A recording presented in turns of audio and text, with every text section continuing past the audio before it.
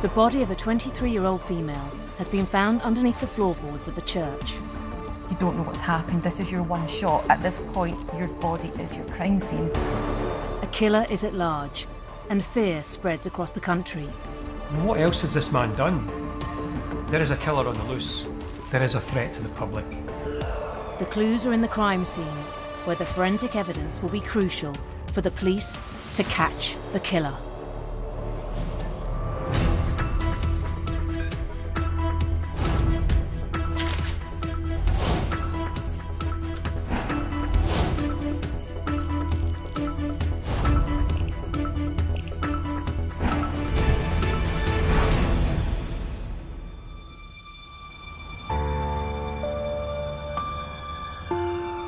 23-year-old Polish student Angelika Kluk has been reported missing in Glasgow. She was last seen in the grounds of the church where she lived and worked. She's 5'3 with long fair hair and green eyes.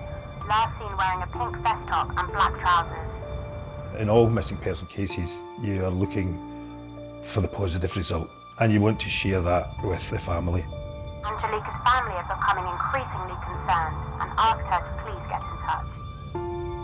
Police surround St Patrick's Church, the chapel where much-loved student Angelika Kluk has been staying. She was working here to raise money for her studies. Angelika eventually got a room in the chapel house, so she lived kind of on site and helped out around the parish. Angelika was probably a, what we'd class a vulnerable person. She was basically living alone, a religious young girl. She comes here to enjoy the city, to enjoy her religion and to continue her studies. She was settled here, she felt happy here, she felt secure. It was a home from home for her. Police are searching the grounds of St Patrick's Church in Glasgow, where Angelika had been staying. Looking at where Angelika stayed, start your search there to see what you can find. None of her belongings had been touched, passports hadn't been taken, which begins to heighten your tensions. It's just a big marker that perhaps something nefarious has happened. A steady stream of detectives and forensic experts arrived at St Patrick's Church. As suspicions continue to grow, the police call in the specialist forensic search team. Now, these are people who come in who will literally leave no stone unturned. They will lift floorboards, they will go into lofts, they will strip down things to search the premises and in particular they search the church. My strong memory is of getting a call from the police to say that I needed to get here quickly. There was a major development.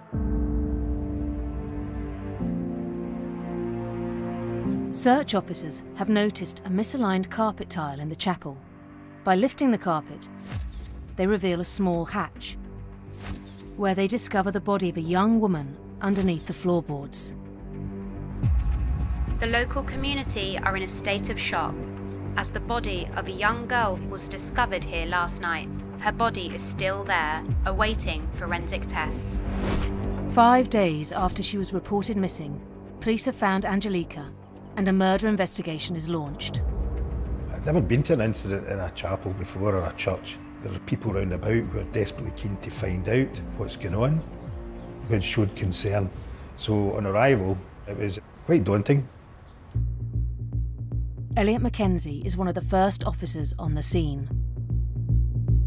This is a totally bizarre scene, certainly most alien to me and to my colleagues. Crime scene expert Sarah Thurkel has over 25 years' experience in the field. In this case, the body was found under floorboards in a church. This is an absolute forensic nightmare because it's impossible to get the body out.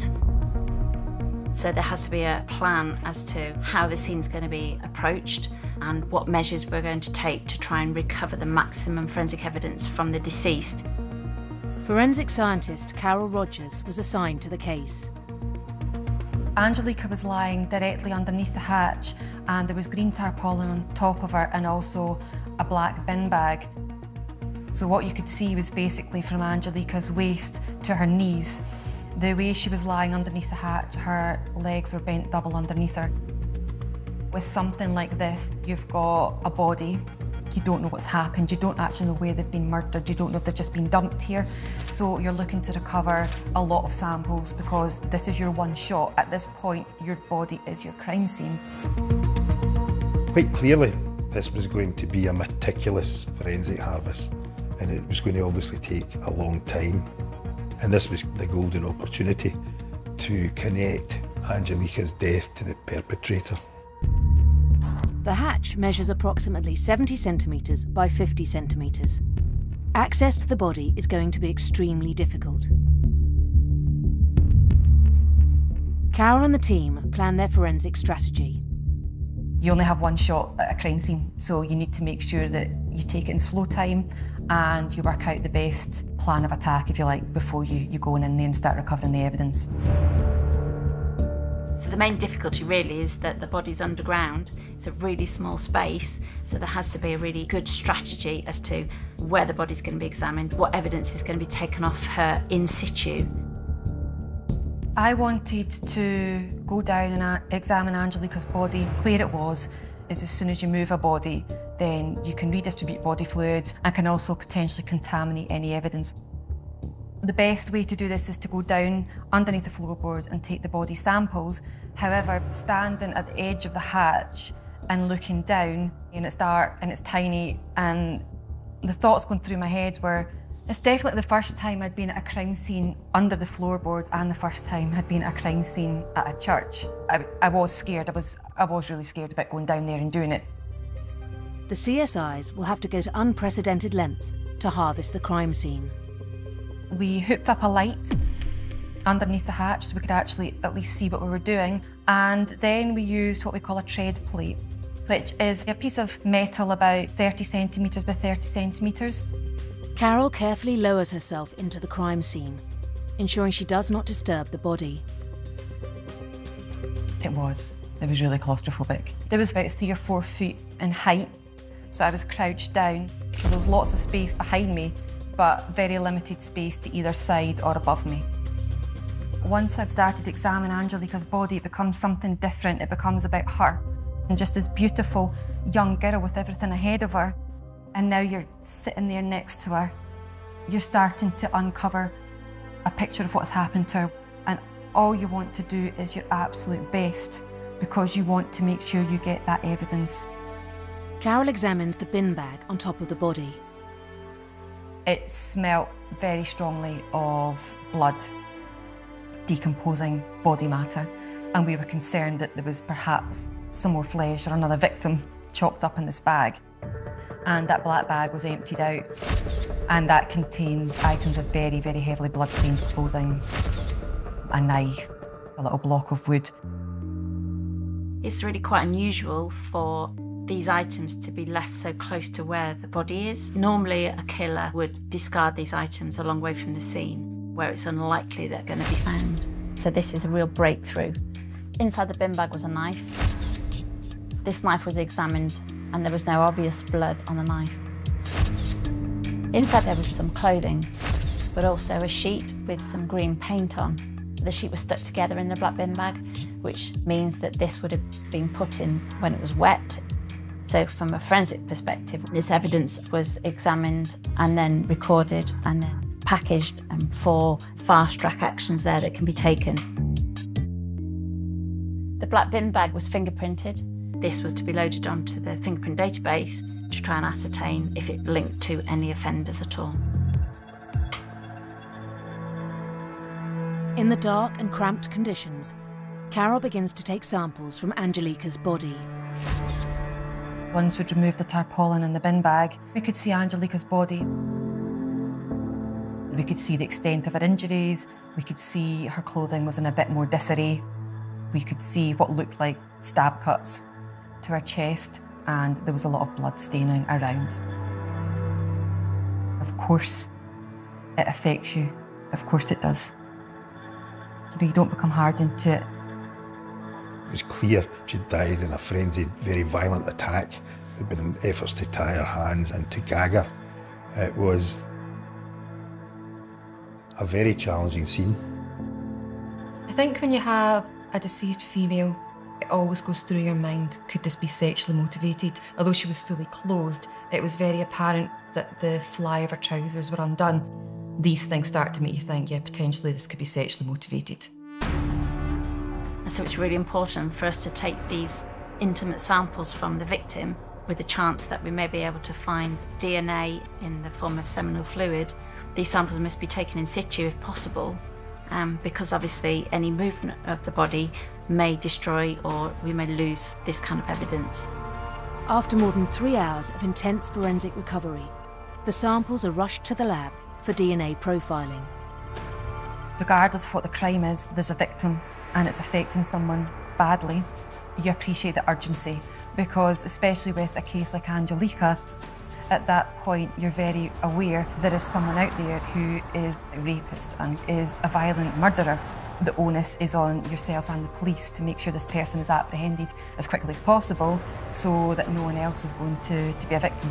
With a killer on the loose, the CSIs must act fast.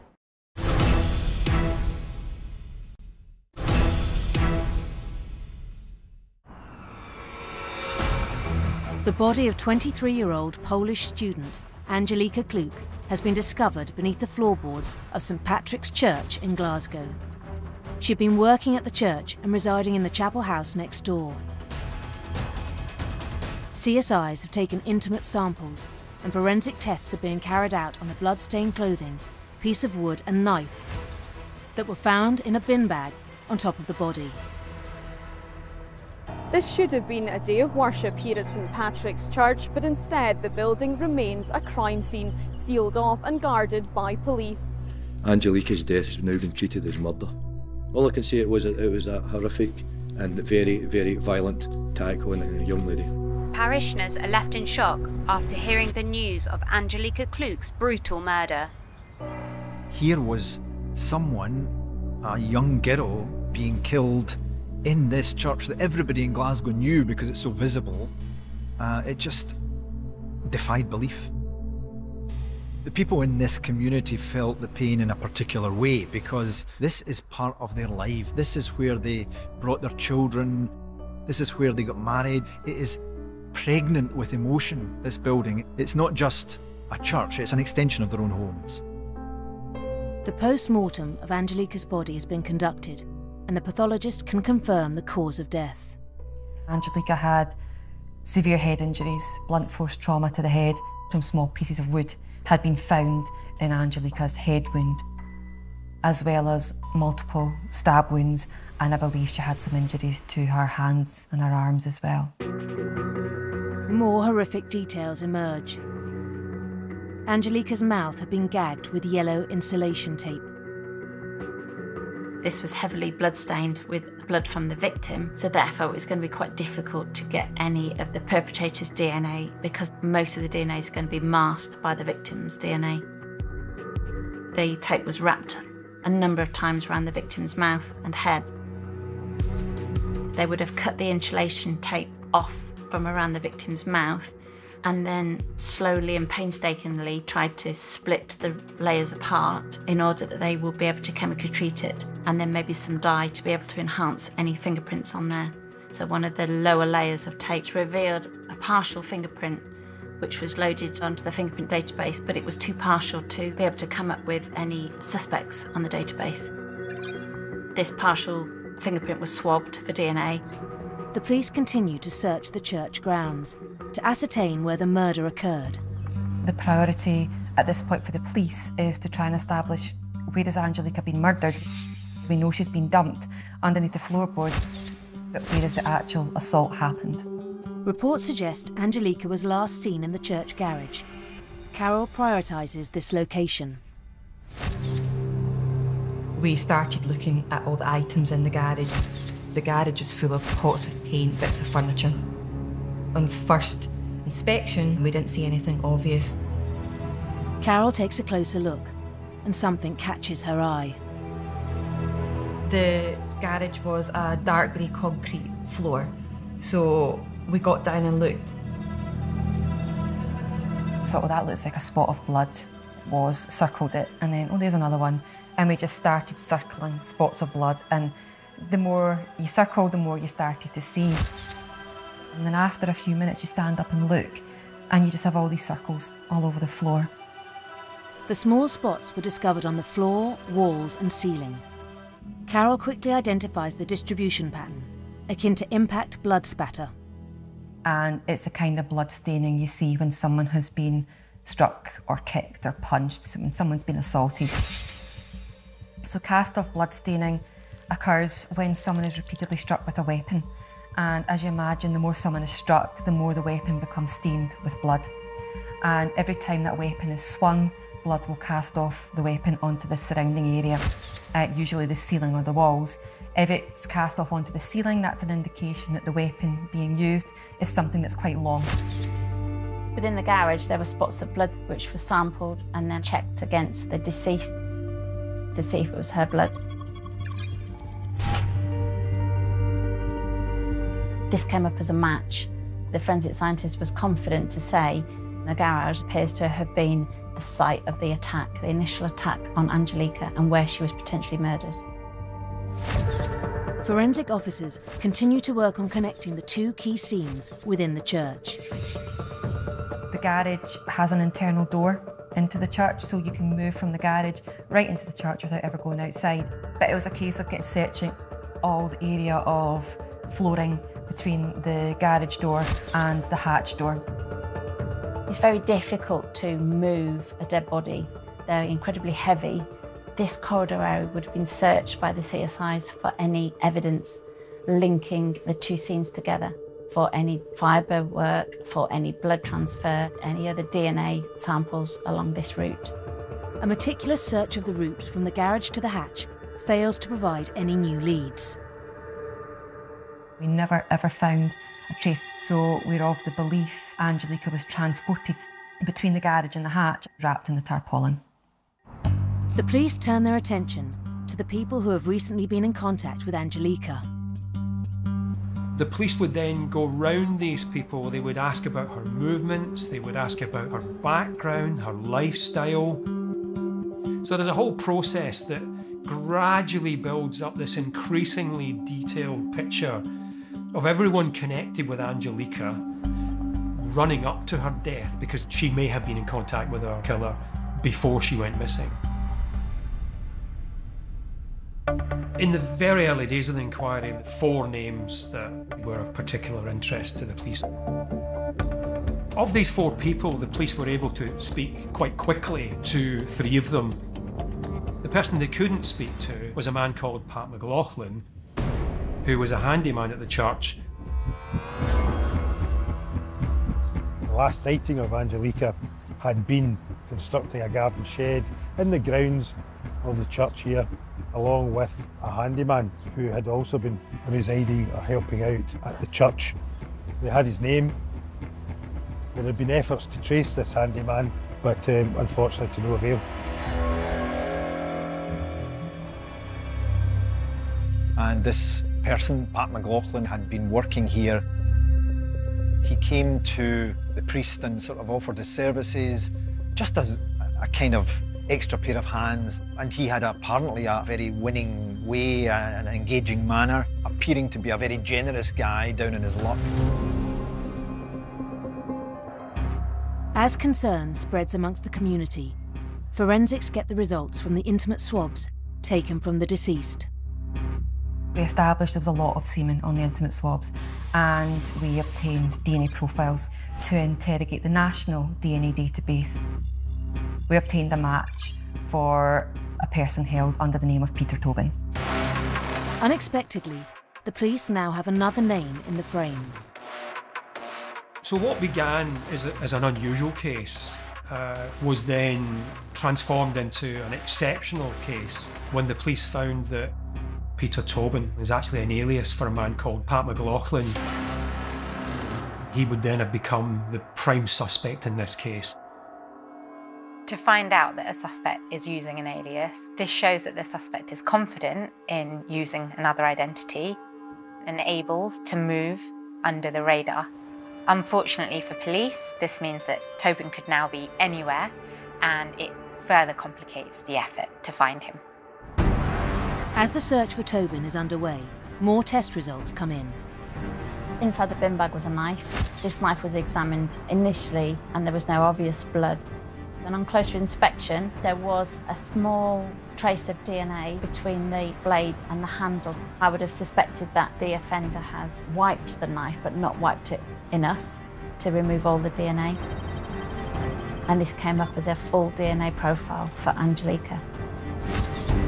The prints extracted from the bin bag were a match to the prime suspect, Peter Tobin.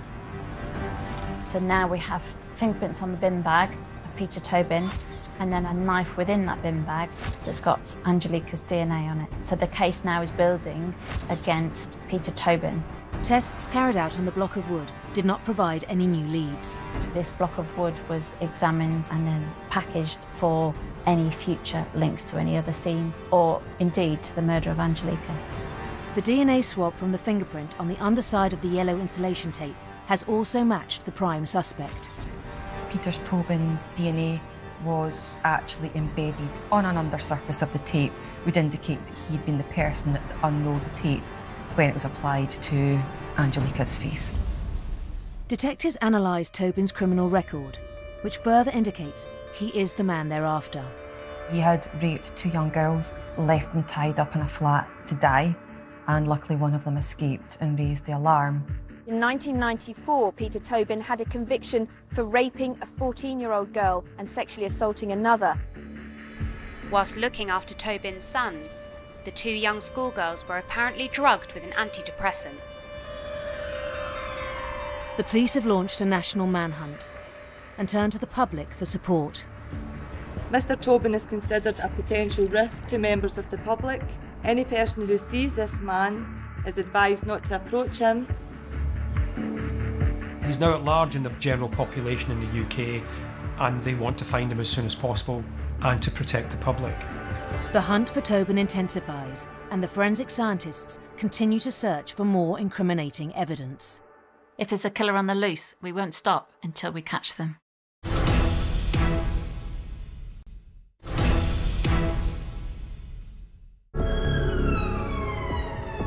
Serial sex offender Peter Tobin is on the run. He's suspected of murdering 23 year old Polish student Angelika Kluk.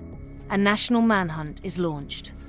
What would have become quite quickly clear to detectives is the kind of offender Tobin is. He is a mobile, violent sex offender. They tend to be quite determined people. Their crimes are difficult to detect because they're mobile, and in this instance, because Tobin is using an alias. Uh, what else has this man done? Are there other crimes in Glasgow or elsewhere that this man has been involved in? A warning to the public Mr. Tobin may be a potential risk. The police turn to the press to help locate Tobin. The media can be used to communicate to the public about this person because he's dangerous. A request from the police for any members of the public who either had encountered this man or knew of him to come forward as witnesses and to aid the inquiry. If anyone sees him, please alert your local police immediately. Forensic evidence links Tobin to the victim and the deposition site, and the detectives believe Angelika was murdered in the garage. Despite a number of stab wounds, the pathologist has declared the cause of death as blunt force trauma to the head. The CSIs continue to search the grounds of the church for the murder weapon. It's incredibly busy. You're processing the crime scene and you're processing samples at the laboratory. Police at this stage trying to track down Peter Tobin. The extensive searches unearth a pair of men's blood-stained jeans and a wooden table leg. Both are fast-tracked to the test lab. As the investigation progresses, these table legs were examined by a forensic scientist for any traces of blood, and a small amount of blood was found on one of the table legs.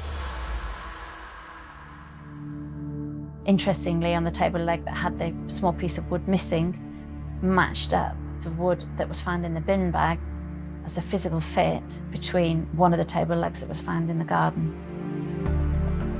So at this point, everything fits together to indicate that this has been the weapon that's been used to, to strike her. Police are confident that they finally have the murder weapon. But it only has traces to the victim. They still need more evidence that ties Tobin to the murder. Forensic scientists examined this have found quite a heavily blood-stained area on the knee of the jeans. And this blood linked back to our victim. It's important then to try and look for wearer DNA on the jeans. The areas that would be looked at for wearer DNA would be around the waistband of the jeans and maybe the, uh, the zip or fly area of the jeans. A DNA profile was obtained from one of these areas which matched back to Peter Tobin. Apart from the semen, the jeans were the first item that linked Peter Tobin to Angelika Kluk, but you could never say when that DNA was deposited. So all we could say was, in our opinion, the wearer of the jeans had been involved in an assault. Peter Tobin had worn those jeans at some point. So you're building up a picture. The forensic evidence is mounting, and the police press appeal has provided a new lead. 400 miles south of the crime scene, a nurse at a London hospital believes that a Scottish patient named James Kelly resembles their prime suspect. Since studying the killer's profile, they know that he is confident changing his identity and confident to move to another location. So essentially, it's not beyond his MO to be using a new name in a new place. The Metropolitan Police descend on the hospital ward where they detain James Kelly, who is indeed Peter Tobin. They finally have their man.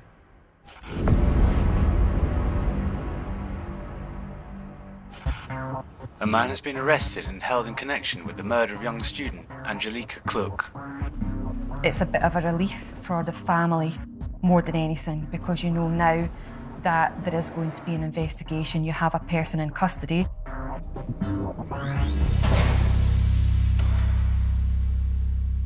When an offender is arrested and taken into custody, clothing would be seized. We would take hair combings from the suspect for any potential trace evidence. If someone's been arrested for a sexual offence, penile swabs and sexual swabs would be taken from them, and also all items of jewellery would be taken. The more traces that link Tobin to Angelika, the stronger the case against him becomes. The clothes he is arrested in are sent away for tests. He was wearing a watch at the time. Again, this is an area that's very difficult for an offender to completely clean. It was a metal sort of link bracelet on the watch, and we found a trace amount of blood.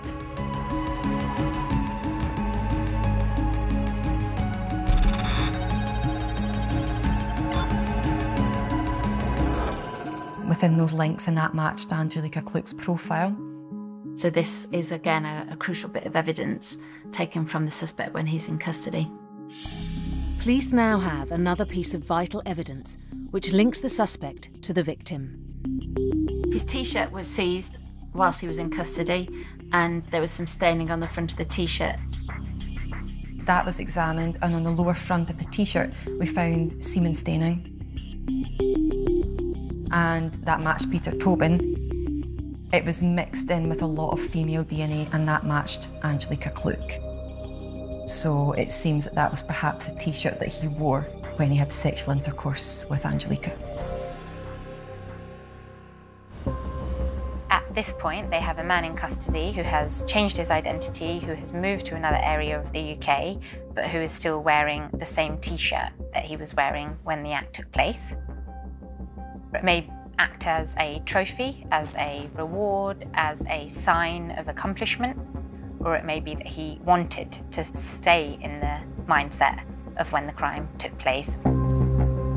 In custody, Tobin denies any involvement, but with the overwhelming forensic evidence against him, he is charged and sent to the High Court in Edinburgh. When you have an innocent victim, a totally innocent victim, a vulnerable victim, that hits home. CSI's recovered DNA from the crime scene of Peter Tobin, a convicted sex offender. Detectives discovered that he had been using a false identity while working at the church as a handyman. So they will have really very strong evidence to connect Tobin with this crime. They will know where the attack started because of the blood spatter in the garage. They've got fingerprints from Tobin on the materials that were used to wrap up Angelika's body to contrast their evidence with his account. The evidence that probably creates the strongest timeline is the evidence for the intimate swabs. Because there was so much semen on the intimate swabs, it's what we'd expect if someone had had intercourse recently. So at this point, our opinion is whoever has had intercourse with Angelika is the person who's responsible for her death. The family of Catholic student Angelika Kluk has been put through more pain today. Her character was called into question in front of the jury. Tobin's defence team claim Angelika had a consensual relationship with him and that the evidence was circumstantial. I felt really sorry for Angelika's family when I saw the headlines, and a lot of the headlines seemed to be trying to paint her as a certain kind of person, and her name was dragged through the mud, and it was, it was just disgusting. Unfortunately, it's not uncommon for any sexual or non sexual interactions between the offender and the victim to be brought up at the trial, even though it may be of minimal relevance, and this undermines the crime itself. And that was really hard. She was just a young girl trying to better herself. She was studying, she was living and working in a church. It, it just didn't make sense, but it was all to try and paint a picture to help the defence. As the trial commences, the authorities continue to investigate Tobin's past.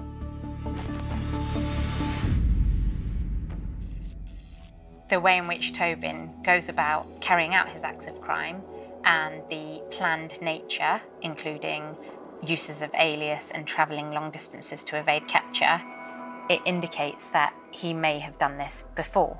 So he's particularly skilled and experienced in carrying out this sort of action.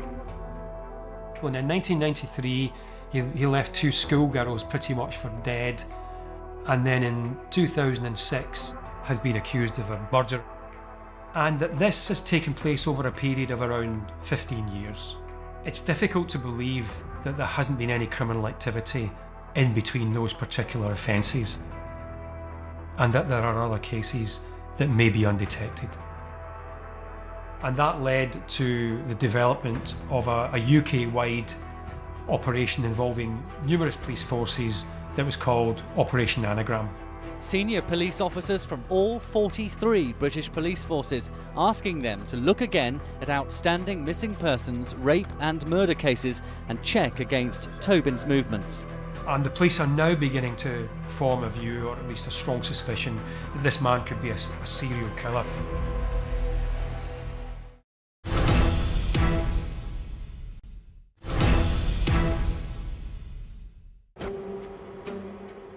Peter Tobin is standing trial for the murder of 23-year-old Polish student and church worker Angelika Kluk. As the trial continues, the authorities investigate Tobin's past, as they believe he may have committed more offences than are known. She was found underneath the floorboards of the church after being missing for five days. Peter Tobin, a convicted sex offender, was using a false identity.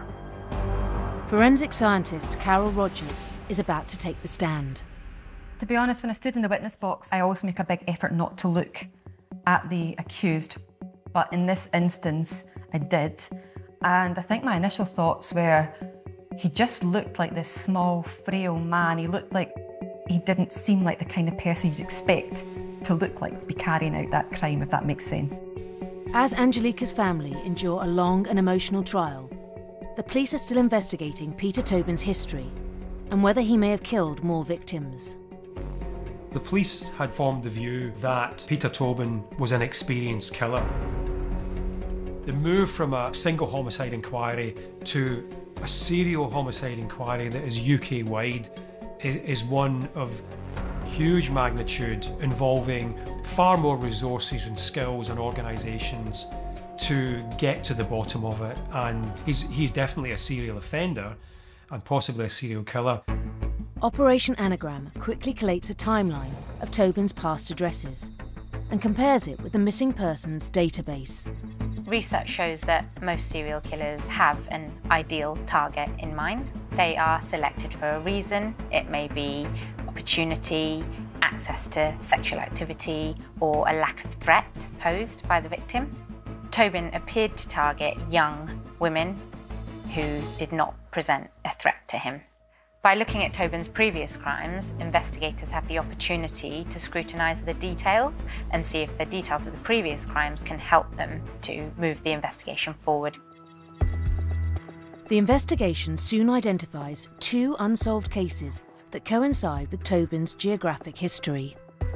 One was the 15 year old girl, Vicky Hamilton, who went missing from the Falkirk area in 1991.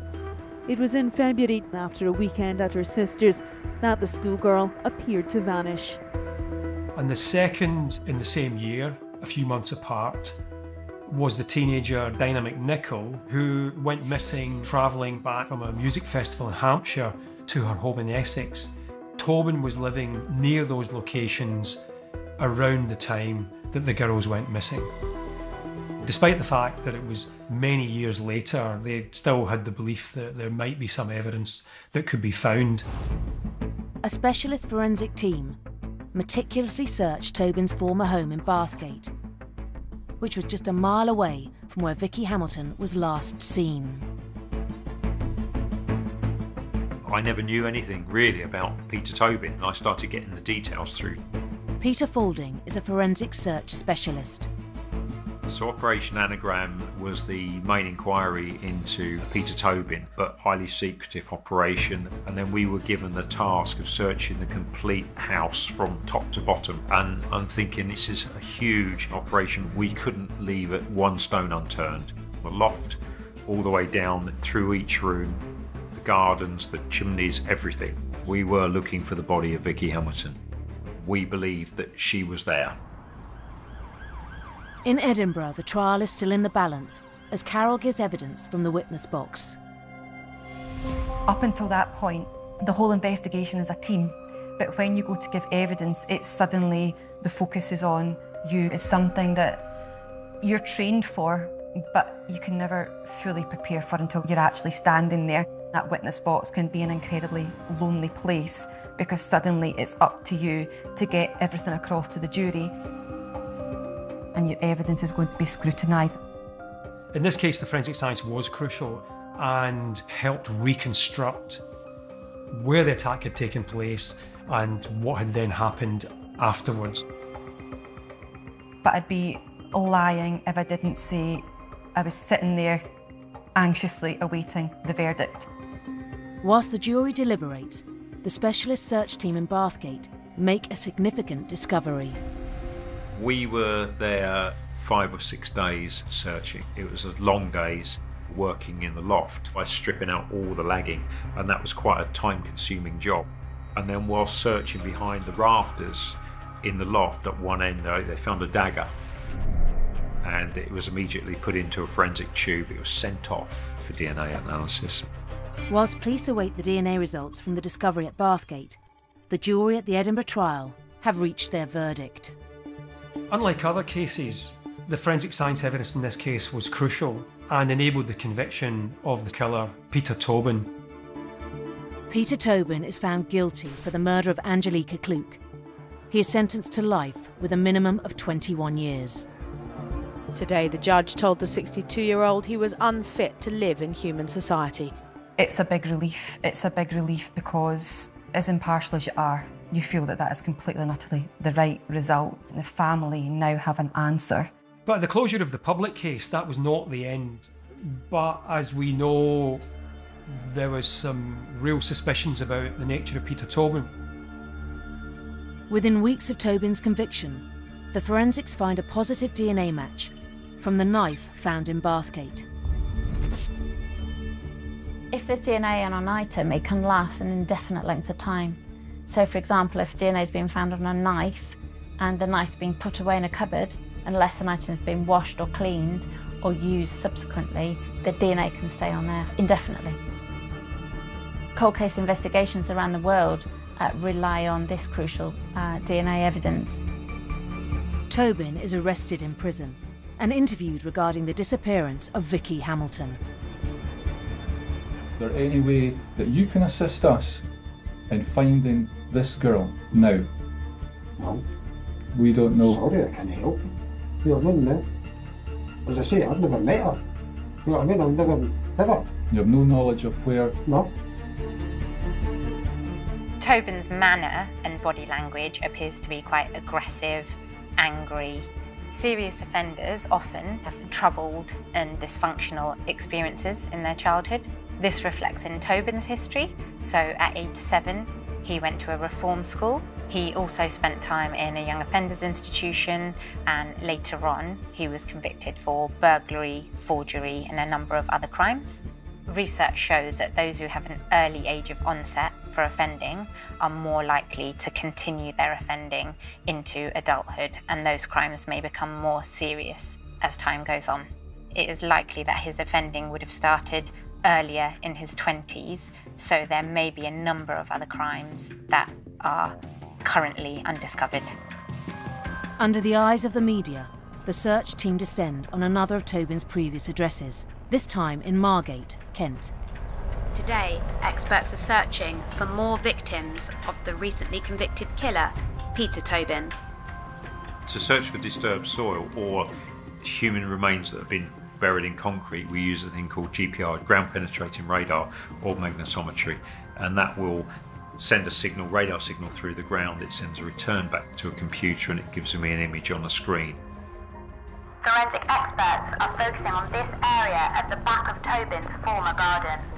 Ground penetrating radar has highlighted this area, which means that several feet below, this soil was once disturbed. There was a large area where the ground had been disturbed. It was a really deep hole. The forensic archaeologist to actually dig that down, and that's a painstaking job. It's a slow task. Hoping that they would find human remains. The search team make a gruesome discovery. An enormous amount of work, a detailed excavation of the garden, but what it did do was it led to them to the discovery of the bodies. Work on the site stands still today. Detectives arrive on behalf of Vicky Hamilton's family to lay flowers on the ground where her body has been discovered. Well, Dinah McNicol had been missing for 16 years before her body was found here, buried in the back garden of what was Peter Tobin's Margate home. She had been bound, gagged, and buried here alongside Vicky Hamilton. He clearly was an extremely violent man. His MO was burying bodies. That was the way Tobin operated. Over the years, him working as a handyman, etc., or travelling salesman, roaming the country, there's probably many more he's disposed of, and no one will ever know. 16 years after the disappearance of Vicky Hamilton and Dinah McNicol, Tobin faces two further trials, where he is found guilty of both murders and receives two more life sentences. Serial killer Peter Tobin will never be released. It's the end of an investigation, it's the end of a, a court hearing. It's not the end for the family and friends and community of Angelika, Vicky Hamilton, and Dinah McNicol. But what is left behind is a family, a family who've lost a loved one, and a vacuum in their lives. It's probably the biggest case of my career, something that was a privilege to be part of, also something that incredibly tragic. I guess there's a bit of an anger because my gut feeling is there's more, and we'll never ever get to the bottom of that. We came face to face in a hugely uncomfortable way to the depths of evil. But at the same time, looking back all these years, evil didn't win the day that Peter Tobin killed Angelika Kluk. It did lead to the capture of one of Scotland's most dangerous, most evil criminals and his incarceration for the rest of his life.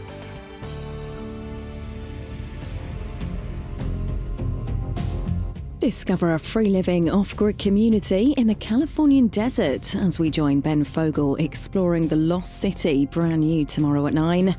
And tonight, from road traffic collisions to a cardiac arrest, trauma teams are racing to the scene in ambulance code red. Next.